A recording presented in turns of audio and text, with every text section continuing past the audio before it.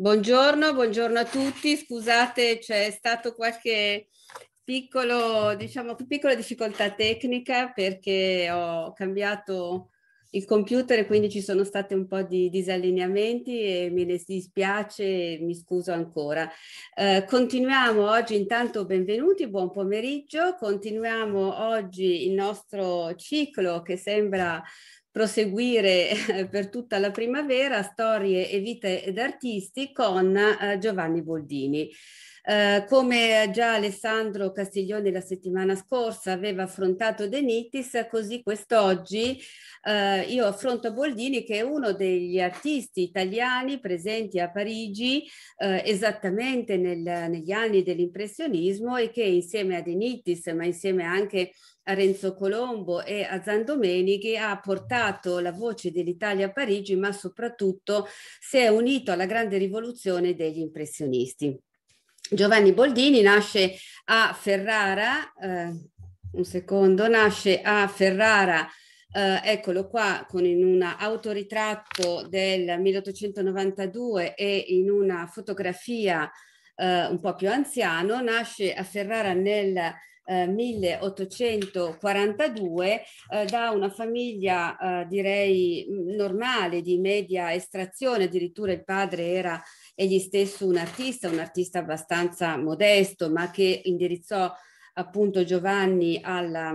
all'arte, ottavo di dodici figli, quindi una famiglia numerosissima e che già a cinque anni aveva dimostrato molta predisposizione per, per il disegno, talmente tanta predisposizione che già mh, a 12-13 anni abbandona gli studi, anche gli studi più semplici e guidato dal padre inizia ad avviarsi alla carriera, diciamo così, dell'arte, del pittore attraverso soprattutto i disegni. E l'osservazione delle opere del 400 e del 500 ferrarese, in particolare di cosmetura, che costituiscono un po' la scuola, la scuola di Boldini eh, e lo studio della, eh, diciamo della, del Rinascimento in particolare, ma soprattutto di tutta la cultura ferrarese che in, parte si porterà, eh, porterà con sé anche nel corso della sua esistenza e del corso della sua eh, produzione. Guardiamo un ritratto di quando Boldini, un autoritratto di quando Boldini aveva 14 anni, chiaramente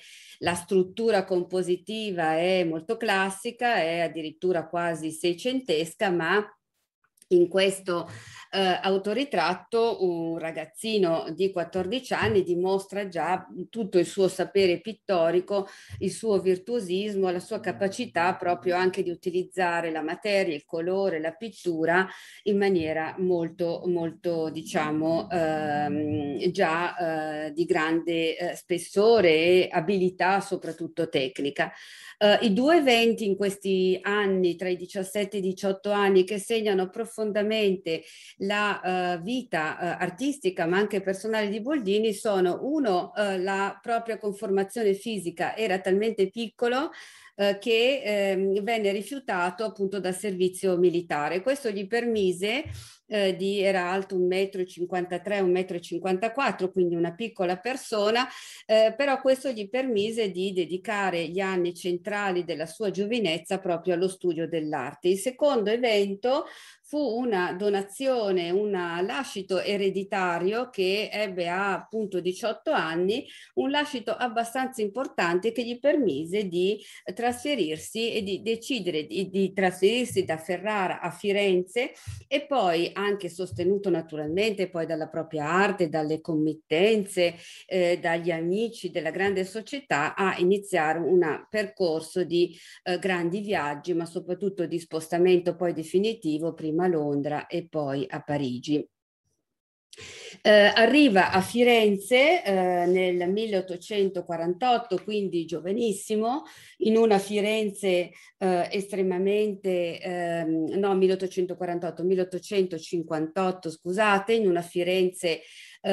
abbastanza viva dal punto di vista eh, culturale e artistico. Ricordo che in questa città eh, per prima eh, si erano avuti contatti con la pittura francese attraverso eh, alcune personalità come Diego Martelli che faceva proprio da spola da, tra Firenze e Parigi, ma soprattutto a Firenze si era creato il Caffè Michelangelo, un luogo di ritrovo che qui vedete in un'opera pittorica di Ceccioni, in cui alcuni artisti avevano preso l'abitudine di ritrovarsi, di discutere con le stesse modalità che abbiamo riscontrato a Parigi e ehm, qui eh, si inserisce subito Fattori, il quale sì si iscrive all'Accademia di Belle Arti, ma in realtà la sua vera scuola è affiancare gli artisti eh, del Caffè Michelangelo, i cosiddetti macchiaioli, che qui vediamo in una fotografia del tempo, ma che vediamo soprattutto in alcune opere. Sono Giovanni Fattori,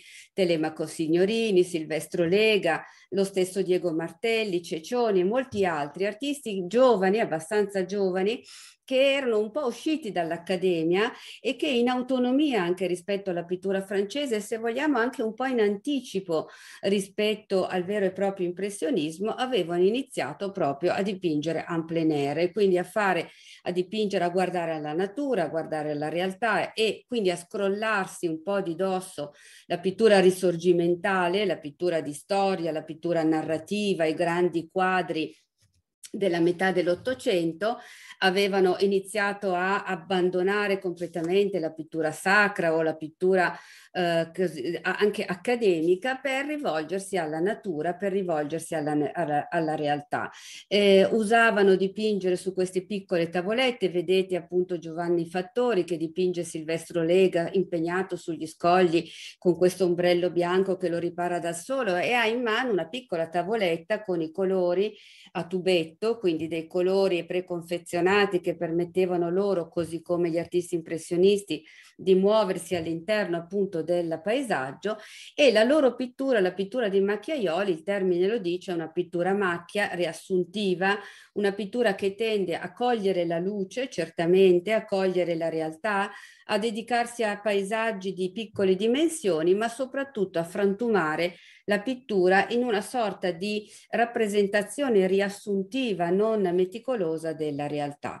Ecco, Boldini ritrae Fatto Boldini, diventa amico, anzi entra nel gruppo dei macchiaioli a tutti gli effetti, anche se lo vedremo la sua pittura non userà eh, la macchia in senso compositivo, ma userà una pennellata veloce e striata e mm, però in questi anni la, la eh, amicizia, la profonda amicizia con i macchiaioli, le discussioni eh, lo portano ad abbracciare un'arte decisamente nuova, decisamente aggiornata e anche consapevole di quanto stava accadendo a Parigi, non solo per Diego Martelli, il teorico del movimento critico d'arte che viaggiava tra l'Italia e la Francia, ma anche perché Firenze era stata il punto anche di attrazione, Firenze in generale la Toscana, di molti eh, personaggi internazionali, in particolare francesi, primo dei quali Degas, ricordiamoci della famiglia Bellelli appunto dipinta a Firenze, ma anche come Des Boutin o altri artisti francesi che usavano proprio venire in Francia. Questo per dimostrare l'affinità e l'attinenza è Boldini che ritrae appunto Fattori, Fattori che ritrae Diego Martelli a Castiglioncello, una delle mete più eh, ambite, più significative, perché luminosa, perché vicino al mare, in cui tutti si ritrovavano, per cui vedete che proprio la modalità è molto vicina a quella impressionista e Boldini che ritrae a sua volta Diego Martelli. Ci fermiamo su quest'opera perché è certamente un'opera molto esemplare e significativa. Sono tutte opere di piccole dimensioni, tavolette o tele, e è abbastanza significativa perché lo ritrae in un atteggiamento come dire, non convenzionale, seduto a terra con le gambe incrociate, con, la, eh, con, il busto inclinato in avanti, con anche lo spazio rappresentato in maniera riassuntiva proprio per macchie di colore, eh, anche se rispetto agli impressionisti eh, i macchiaioli non disdegnano di utilizzare i bruni, i neri, le ombre, non arrivano a quella fram frammentazione cromatica e anche a quella ricerca della luce che era propria degli impressionisti. In questo ritratto, come in altre opere, Boldini guarda moltissimo a Degas, eh, Degas con la quale instaurerà, soprattutto quando si trasferirà a Parigi, un'amicizia di lunghissima data e che sarà il suo punto fermo rispetto a tutti gli altri impressionisti, senz'altro Degas è l'artista che lo interessa di più o come possiamo vedere Silvestro Lega, eh, sono tutte opere di questi anni, tra il 1855, 58, 65, insomma opere che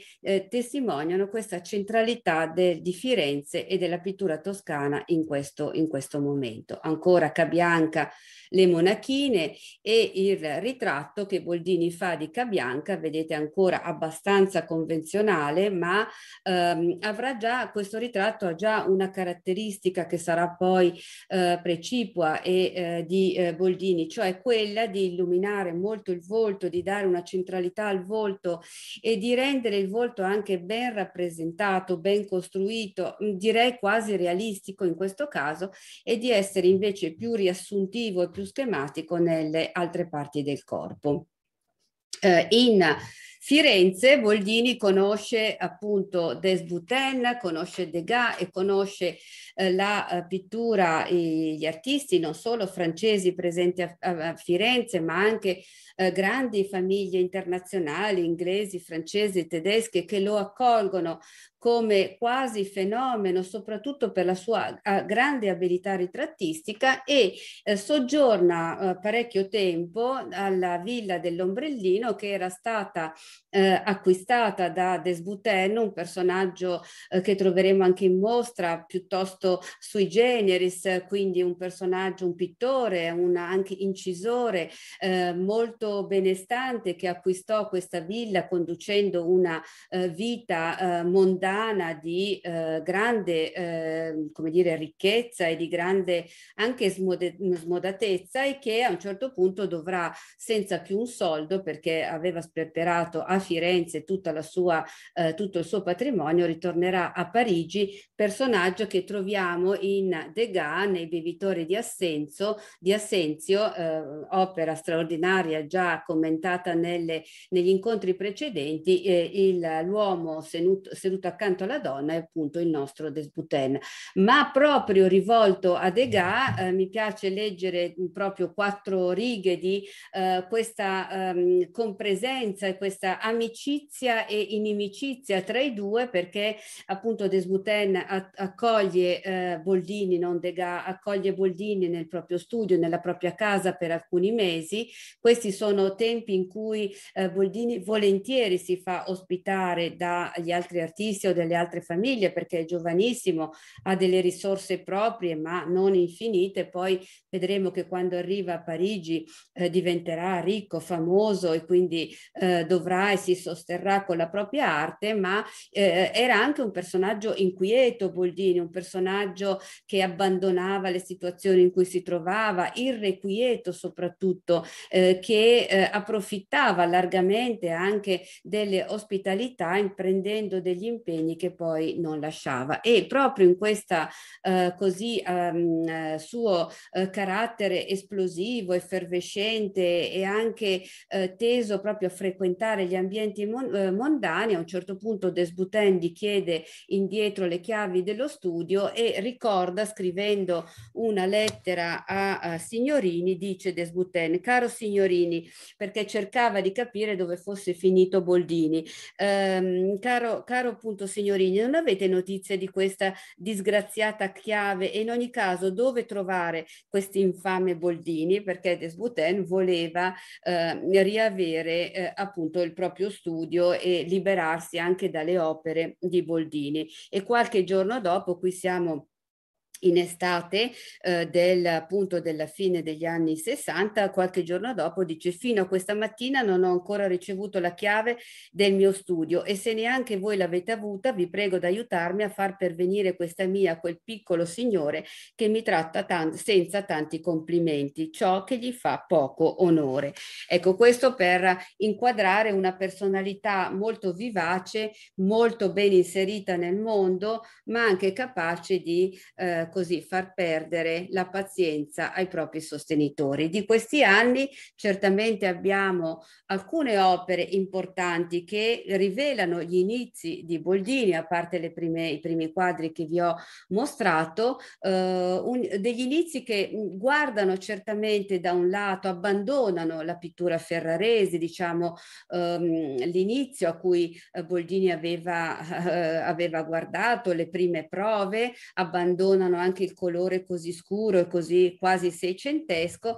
schiarisce la tavolozza, ma certamente dal punto di vista compositivo eh, l'artista che, eh, più eh, influisce su Boldini è certamente Degas. Lo vediamo in quest'opera con le sorelle Lascarchi del 69, le tre sorelle giovani sdraiate malamente sul divano, quindi in posizione quasi fotografica e la fotografia ha molta, molta uh, così forza anche su Boldini, così come su Degas e sugli altri artisti impressionisti. Um, è una pittura riassuntiva, lo si vede già molto bene nella parte delle vesti con queste pennellate lunghe, nella parte anche del fondo, del muro di fondo, della tappezzeria, eh, del divano, ecco, rappresenta le protagoniste sono a sinistra, quindi decentrate rispetto all'opera centrale, quindi con uno sguardo proprio laterale. È un momento fondamentale proprio di questi anni, poco prima della partenza di Boldini per Londra, è l'episodio con eh, della, la, diciamo, il rapporto di eh, committenza ma anche di amicizia profonda e probabilmente anche di amore con la famiglia inglese Falconer e con la villa, la falconiera a Pistoia. Eh, Boldini era stato chiamato dalla, eh, da Madame Falconer, era stato chiamato a eh, vivere in questa villa e soprattutto eh, gli era stato commissionato un grande ciclo di affreschi. Ecco, questa cosa è abbastanza atipica sia per i macchiaioli sia per gli impressionisti e anche per questi anni, nel senso che normalmente dipingeva vendevano su altri formati, su altri supporti, tavolette, tele. Eppure Boldini, che era anche l'amante della signora Falconer, decide di affrontare questa importante commissione ehm, eh, re, dipingendo la sala da pranzo della, eh, della signora Falconer. Anche qui con tutta una serie di vicissitudini, affreschi e pitture lasciate incompiute, Boldini che parte e che ritorna, la signora che poi, eh, Falconer che poi muore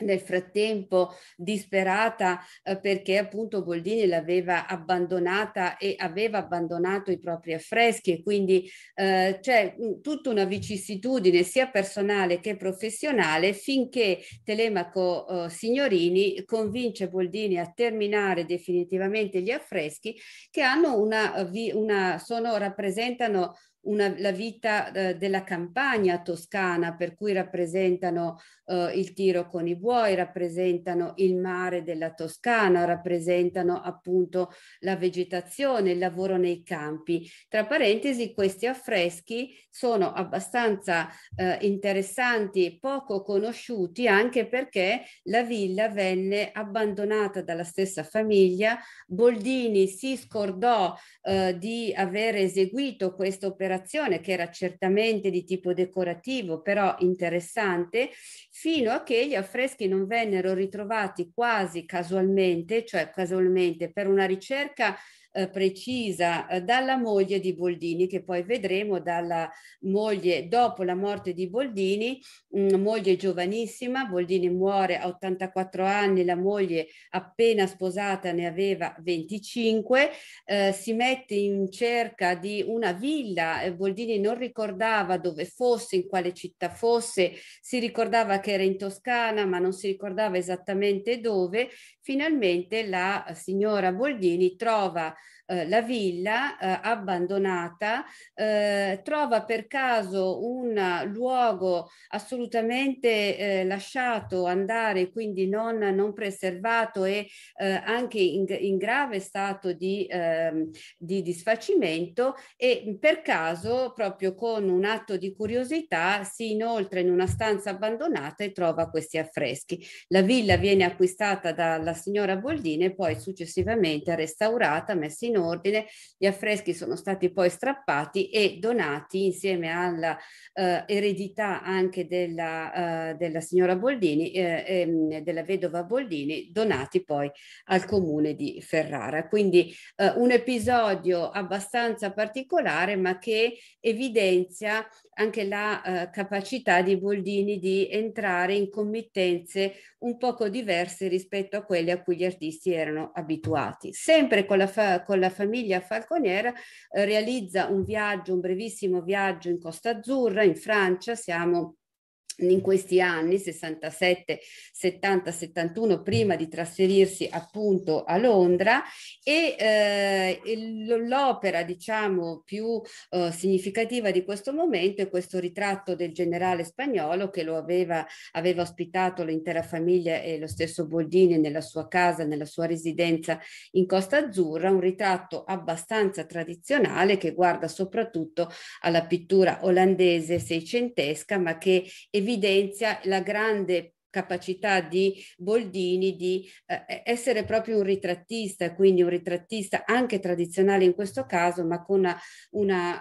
eh, già eh, sua predisposizione per acuire il carattere, lo sguardo, la personalità del ritrattato. Boldini sarà conosciuto nel mondo londinese e francese proprio come ritrattista. Eh, nel, mh, agli inizi del eh, 1870 decide che l'Italia gli sta stretta, Firenze anche, Pistoia pure e decide di trasferirsi a Londra. Rimane a Londra con una serie di avanti e indietro circa 16 mesi, sono mesi importanti perché lo, um, lo innestano anche nella cultura londinese, ma soprattutto nelle grandi famiglie londinesi, ma in particolare eh, Boldini a Londra guarda alla, ai preraffaelliti, quindi guarda a una corrente che si stava eh, consolidando, che aveva iniziato appunto eh, nella metà del, del, dell'Ottocento, ma che soprattutto soprattutto negli anni 60 e 70 si stava consolidando una cor corrente già simbolista, in cui estetizzante, in cui eh, al di là dei soggetti rappresentati molto lontani dalla vena realista o impressionista, ciò che emergeva era un'attenzione fenomenale al particolare, all'elemento decorativo, a una visione estetizzante anche dell'opera d'arte. Sicuramente Millet è una eh, delle eh, ehm, eh, degli artisti e questa è una delle opere all'Ofelia che maggiormente lo affascinarono, ma anche eh, Whistler eh, con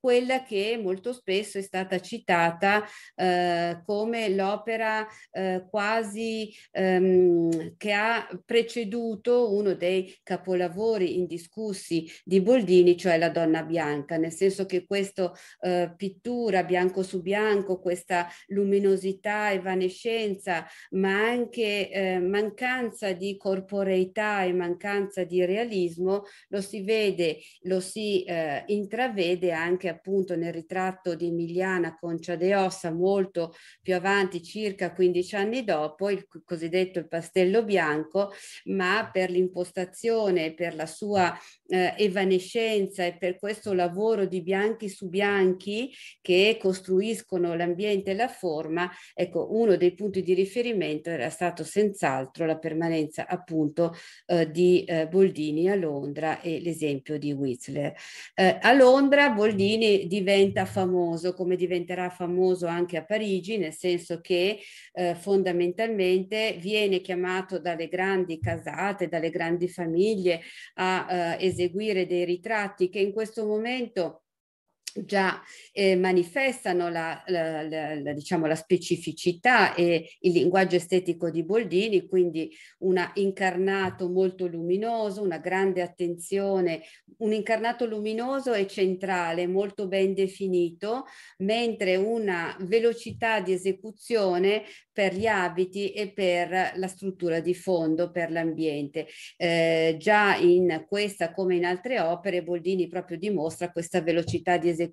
le cosiddette sciabolate, cioè la pittura a sciabolata che è proprio diventa una cifra stilistica. Grandissima attenzione naturalmente alla moda, agli abiti, a, alle, alle, mh, alla, all'aspetto estetico delle donne e degli uomini rappresentati. Però anche Londra non è, come dire, nel corde, nel cuore di Boldini, il quale nel 71 decide di trasferirsi a Parigi. Conosceva già Parigi perché aveva avuto nel 67 l'occasione di poter eh, visitare la città e di poter visitare l'esposizione universale e nel 71 arriva a Parigi immediatamente proprio per questa sua predisposizione per il bel mondo e predisposizione per la ritrattistica, Boldini viene assoldato dalla, dai Goupil, dalla Galleria d'Arte Goupil che, eh, che eh, all'interno della quale aveva lavorato Van Gogh, se vi ricordate, aveva lavorato il fratello di Van Gogh, anzi stava lavorando il fratello di di Van, ehm, no, lavorerà il fratello di Van Gogh, ehm, all'interno della quale, per la quale anche De Nittis e molti altri artisti, Messonnier, eccetera, Goupil eh, certamente non seguiva un'arte d'avanguardia, non seguiva gli impressionisti, ma seguiva il mercato, per cui faceva dipingere agli artisti ciò che ehm, i committenti chiedevano, ciò che coloro che acquistavano chiedevano e in particolare, quindi sicuramente una galleria galleria tradizionale, ma che pagava molto bene ehm, e eh, che pagava molto bene e che ehm, aveva come sua matrice principale la produzione di scene di genere, scene di genere dipinte anche con una pittura quasi settecentesca, molto luminosa, molto eh, veloce, eh, a volte anche un po' come dire eh, kitsch da un certo punto di vista, perché erano piccoli quadretti o anche incisioni o disegni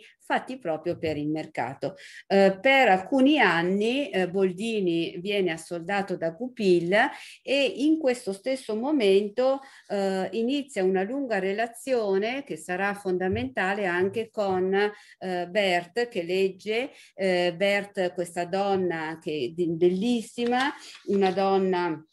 molto giovane, eh, una modella, ma anche ehm, capace um, di, di, avere proprio una um, entrata nel, nella, nell'alta società, per cui una donna spigliata ma particolare che diventa eh, l'amante di Boldini per almeno dieci anni e la modella per almeno una quarantina di opere. E proprio sono gli anni di Goupil per cui troveremo questa donna all'interno all'interno di moltissime rappresentazioni di Goupil eh, proprio realizzate per Goupil e nel 1871 Boldini appena trasferito a Parigi scrive eh, caro Banti ehm, sono a Parigi da una settimana per cui era appena appena arrivato. Lavoro molto. Durante l'inverno sarà costretto a fare una corsa a Firenze per due o tre giorni. Avrò dunque il piacere di stringerti la mano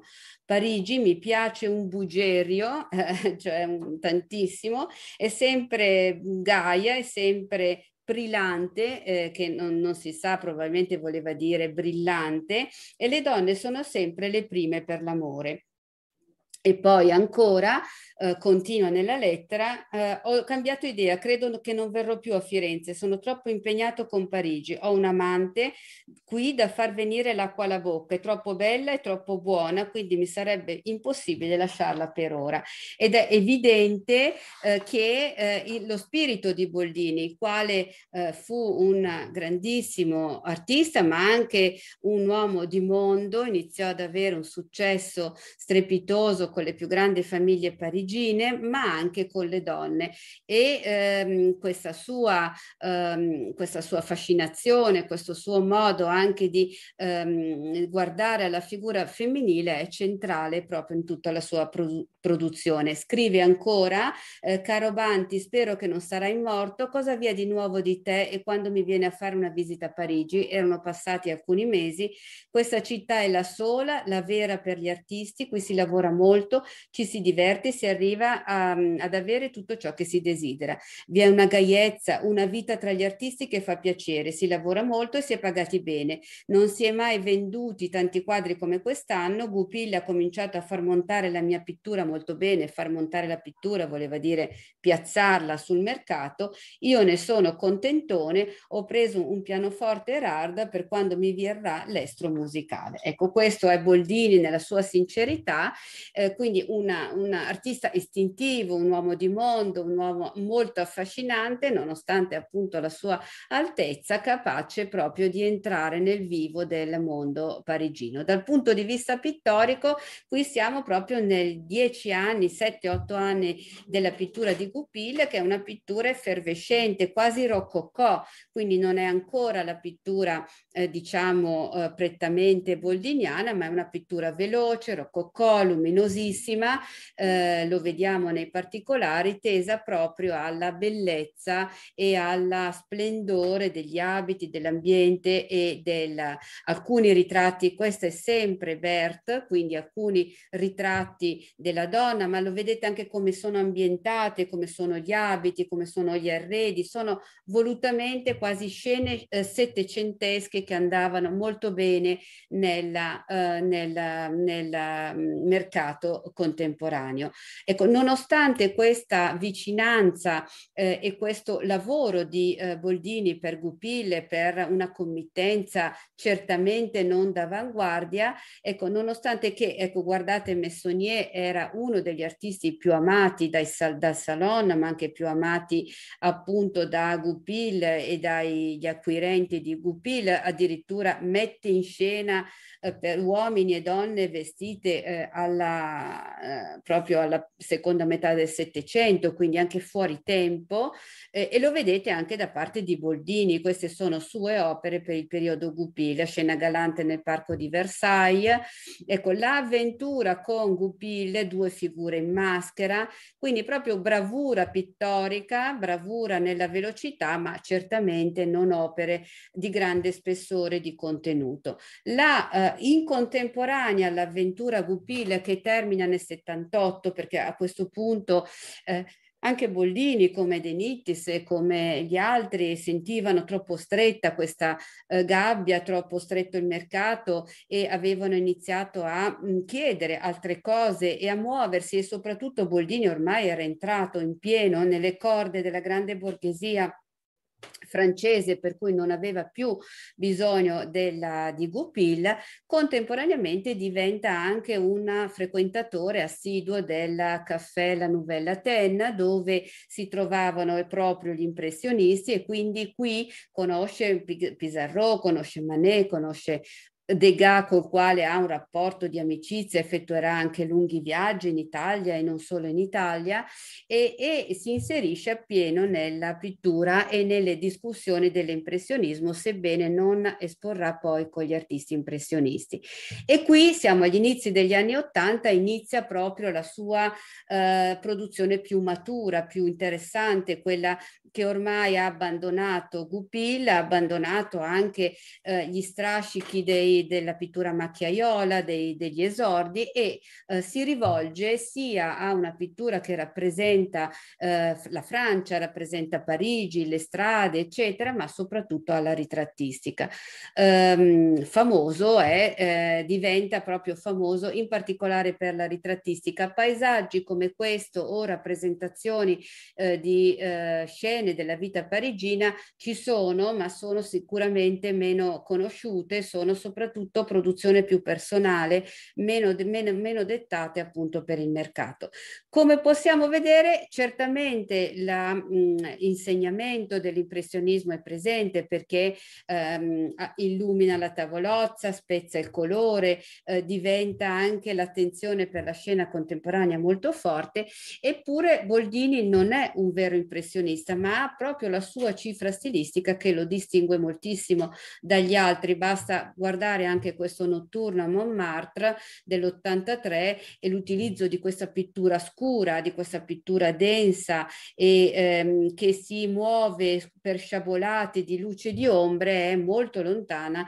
dagli impressionisti così come noi li abbiamo visti fin qua. L'artista che più era per lui il punto di riferimento, l'ho già detto, era Degas tanto che con Degas frequenta i caffè notturni, la vita parigina notturna, proprio la vita della Belle Époque e questa opera molto bella, molto anche con taglio fotografico particolare lo evidenzia. Ehm, vedete, tra parentesi, la cantante mondana non è una rappresentazione tratta da una scena realistica all'interno di un caffè, ma è eh, montata nello studio stesso di Boldini, per cui eh, è lì nel suo studio con qualcuno che suona il pianoforte e la rappresentazione così di spalle, di schiena, il taglio a destra e a sinistra, noi non vediamo chi è l'uomo che sta suonando il pianoforte, vediamo solo le mani, la luce violenta sull'incarnato della donna e gli altri elementi che entrano poi nel buio sono proprio impostazioni alla Degas, molto fotografiche, ma anche di un'immediatezza che avevamo visto in Degas. Contemporaneamente la sua, diciamo, relazione, le sue relazioni personali diventano sempre più burrascose, oltre che con Berta inizia una relazione con Madame Gabrielle che vedete eh, qui alla vostra sinistra, per cui a destra c'è Berta e a sinistra Madame Gabrielle, una aristocratica molto sensuale con cui avvia una relazione eh, che dura eh, contemporaneamente a Berta per lunghi anni e diventa anch'essa la, eh, eh, diciamo, eh, la modella per eh, moltissime opere, anche a carattere eh, scabroso. Ecco, un'opera come questa, Le due donne sedute al caffè, sono vicine eh, anche per impostazione a Degas e ricordano moltissimo il ritratto che Degas fece di Mary Cassatt, un'artista appartenente anche al gruppo impressionista dell'84, proprio per la pittura riassuntiva, per la posizione che Degas offre, che anche Boldini aveva dato a quest'opera.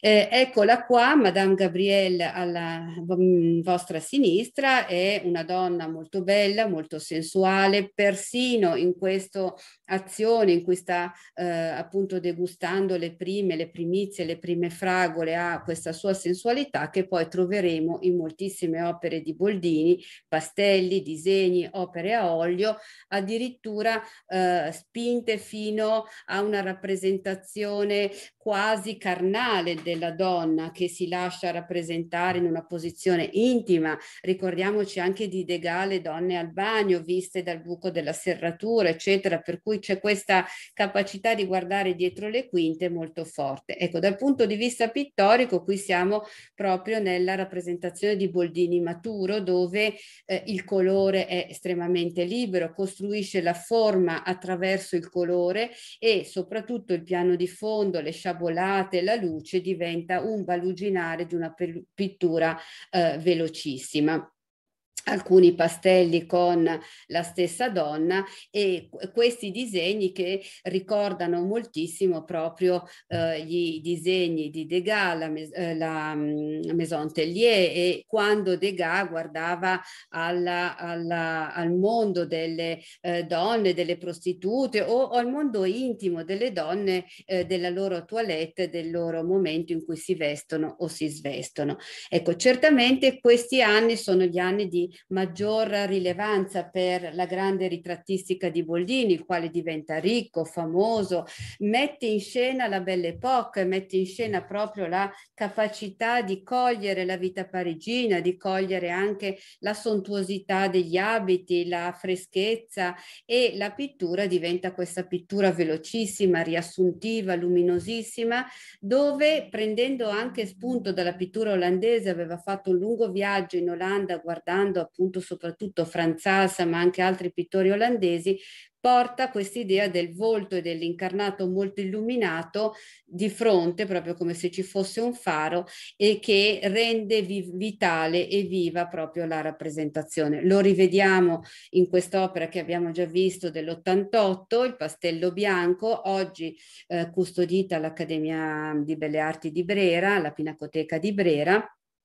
ed è un'opera, guardiamola nel particolare, proprio ottenuta con questa pittura riassuntiva, con questa pittura velocissima a eh, sciabolate di colore. E su questa un'opera interessantissima, La signora dello studio dinanzi al pastello bianco, quindi riprende la, eh, una signora parigina che diventa una silhouette nera che guarda la sua opera, la quale è esposta in una sorta di caffetteria, per cui c'è questa sorta di circuitazione che non è nuova, l'avevamo già vista in molti altri artisti, che rappresentano un'opera già realizzata. Ecco, eh, ancora eh, alcuni ritratti di questi anni, vedete qui la centralità del volto e dell'incarnato sempre più realistici rispetto all'elemento riassuntivo e velocissimo dell'abito e dello sfondo, ma ecco, qui ormai siamo di fronte al Boldini conosciuto, al Boldini maturo, capace anche di dare freschezza nella propria ritrattistica.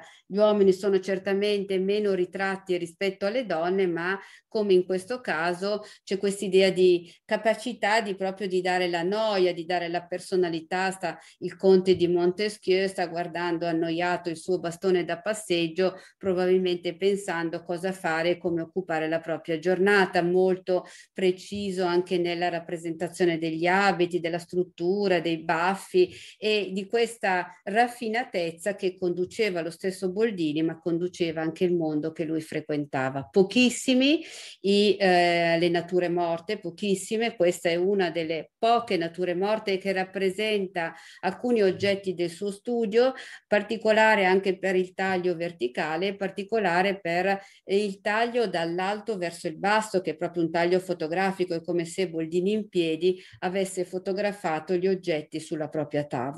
E anche qui mi piace farvi vedere come appunto ci sia un'arditezza anche compositiva, non un taglio verticale non c'è, non va a perdersi mai nella rappresentazione dei particolari del fondo, della leziosità, tutto quello che aveva fatto per Goupil viene in età matura assolutamente abbandonato. Diventa anche eh, il ritrattista delle donne famose, soprattutto le donne eh, teatrali, le grandi attrici, le danzatrici come eh, Cleo, ehm, una ballerina avviata a 12 anni alla danza, 15-16 anni divenuta famosa per tutti i palcoscenici, palcoscenici i, i, teatri non solo francesi ma anche europei, eh, che aveva dato il là a, eccola qua, alla moda giovanissima destra, un po' eh, quindi sedicenne quando inizia a debuttare eh, all'Opera di Parigi e qualche anno dopo alla nostra sinistra,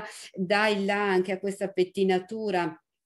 con le due frange eh, accanto alle orecchie, una donna bellissima e che diventa anche un'icona di moda proprio per la eh, Parigi, per le donne della Belle Époque. Qui la vediamo con queste scollature profondissime, con questa pittura che dalla, eh, oltretutto dalla blusa con gli stessi colori eh, si alza nel fondo e c'è una propria libertà ormai acquisita di composizione fortissima. ancora opere di questi anni in cui vedete proprio questa sua, ehm, sua eh, velocità e sua capacità di cogliere anche l'animo delle persone ritratte, famosissimo il ritratto di Giuseppe Verdi, lo stesso Verdi quando lo vide finito disse ma io sono così serio, così ehm, quasi eh, eh, um, serioso, così eh, in, mi vedete in maniera così ehm, appunto eh, poco ameno alla velocità, poco eh, così serio e, e, e in effetti eh, Boldini lo aveva colto nella sua imperiosità, nella sua capacità di grande compositore ma anche di uomo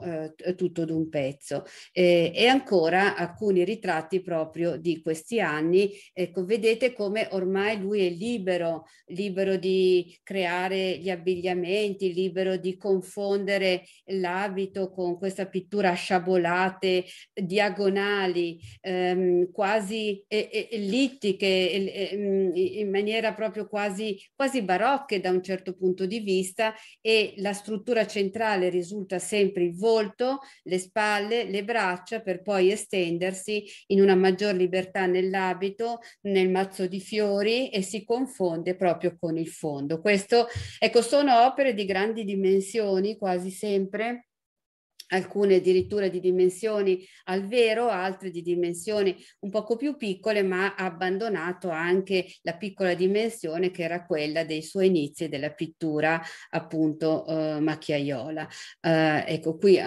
una serie di altri eh, ritratti, ehm, Boldini ehm, continua eh, la sua produzione anche negli anni 10, negli anni 20, eh, fino direi quasi fino agli ultimi giorni, fino al 1900 1931 quando muore eh, all'età di 85, eh, circa 85 anni. Ecco, la, um, eh, forse questo è l'ultimo grande ritratto del 1924 a cui mette mano, ehm, ormai direi che la cifra stilistica l'abbiamo, l'abbiamo conosciuta. In tutti questi anni Boldini non, non, non si sposa, eh, non eh, ha una grande abitazione a Parigi, eh, certamente non, è ancora pieno di committenze, proprio negli ultimi anni della sua vita incontra Emilia Cardona Boldini, che poi diventerà sua moglie, una giovanissima giornalista eh, di 24 anni, la quale eh, racconta lo eh, voleva intervistare perché era appena arrivata a Parigi e lavorando per una rivista il suo compito era intervistare i grandi personaggi di Parigi. Eh, ehm, la stessa eh, Emilia Cardona racconta in alcune memorie eh, questo. Avevo chiamato al suo numero della rete telefonica, eh, parlo con Boldini, sì sono io, vorrei intervistarla, io non ne ho bisogno, risponde lui, ma io sì, sono a Parigi per questo, vivo facendo interviste che mando a un giornale italiano. Da quando in quale donne italiane si sono messe a lavorare, dice Boldini, dal dopoguerra. Quanti anni, quanti anni ha lei, madama? Non lo so, e lei? Forse i miei li sa. Lavora per vivere, per vivere a Parigi? Pressa poco, allora venga domani alle 11.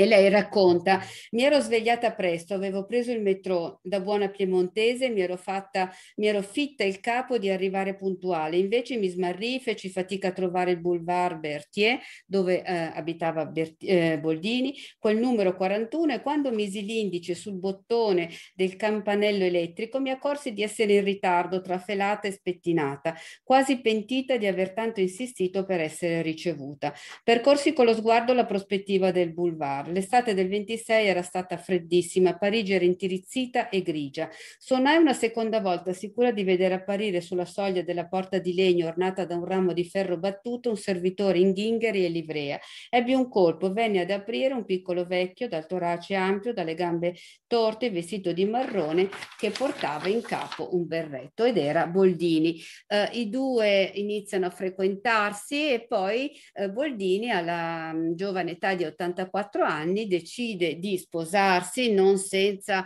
la um, ritrosia dei suoi parenti e, um, perché naturalmente vedevano in questo matrimonio uh, una sorta di um, così di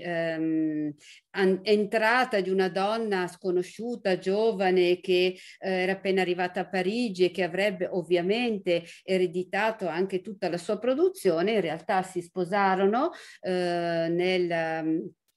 si sposarono nel 1930, nel 1931 eh, Boldini muore e eh, Emilia eh, in realtà eredita tutte le opere di Boldini ma inizia a fare un percorso di grande ehm, eh, spessore perché eh, anziché disperderle e venderle trova come vi ho detto prima eh, la villa in cui Boldini aveva eseguito gli affreschi, decide nel 38 di acquistarla, trasferisce tutti i beni eh, le opere pittoriche, ma anche i cavalletti, insomma tutti gli attrezzi e eh, i ricordi di Boldini um, li trasferisce in villa eh, fi, e rimane proprio come custode, come eh, erede di questo grande artista fino alla donazione poco prima della sua morte al comune di Ferrara della eredità, tanto che a Ferrara viene aperto appunto il museo dedicato a Boldini. Ecco, questa è eh, la storia appunto di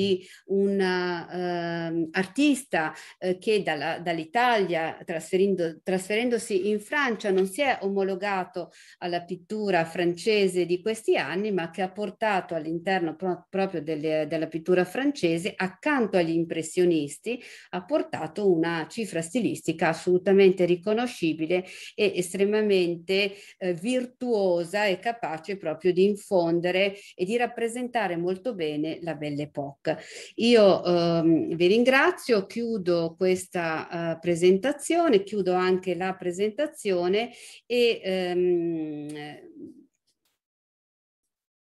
scusate.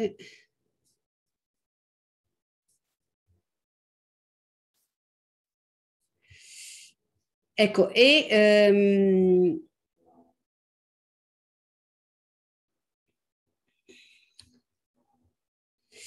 eh, chiudo la presentazione, mh, mm, ricordo, vi chiedo se naturalmente ci sono delle questioni, delle domande, guardo subito eh, eh, che tipo di rapporto aveva con le sue modelle secondo lei, certamente un rapporto, beh, con alcune un rapporto assolutamente professionale, nel senso che veniva chiamato a rappresentarle, in altri casi sicuramente lo abbiamo visto, eh, un rapporto come dire, anche eh, carnale, anche di ehm, amore, di relazioni, ma anche relazioni lunghe nel tempo, eh, certamente era un uomo molto eh, affascinante, un dandy che piaceva molto alle donne. Mm, quanta della sua produzione è ancora visionabile a Ferrara? Al Museo Boldini di Ferrara ci sono almeno 60 opere pittoriche eh, di importanti, di grandi dimensioni, sicuramente il nucleo eh, più importante di questo artista e anche eh, moltissimi disegni, studi, eccetera, e quindi ehm, certamente è una... Um, diciamo una, um, un nucleo che va visto per lo studio stesso di Boldini. Uh, io um, eh, se non ci sono altre domande, guardo anche su Facebook, mi sembra eh, non ci siano. Ah, ce ne sono ancora, grazie mille, grazie a voi. Si possono rivedere le conferenze? Sì, certo, si possono rivedere sia sulla nostra pagina Facebook,